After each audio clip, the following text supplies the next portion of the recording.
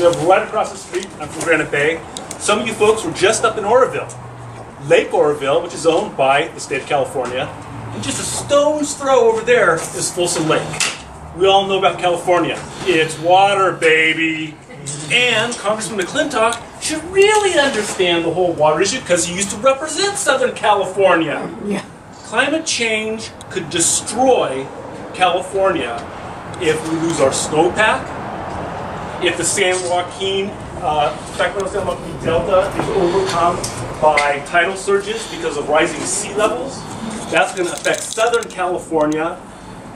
And I know a lot of people, oh, I don't want to get into the, it's going to hurt, it's going to cost money. That's what it's all about. There is a greater potential risk for billions of dollars that we will have to spend defending against the impacts of climate change than if we just say, oh, let our grandkids take care of it. Because that's been the big, big issue with all of the Republicans. Oh, we don't want to give our grandkids, you know, this huge debt. We're giving our grandkids a catastrophe in the making with climate change.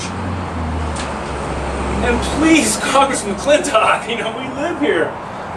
Listen to the scientists. Look at the reservoirs. Talk to the, your neighbors down in Southern California. What happens if the state water project and the aqueduct go offline because the Sacramento Delta levees break and they have no fresh water? Then who's going to be mad? So that's why we're here. We all recognize the value of this. And where's our unicorn award?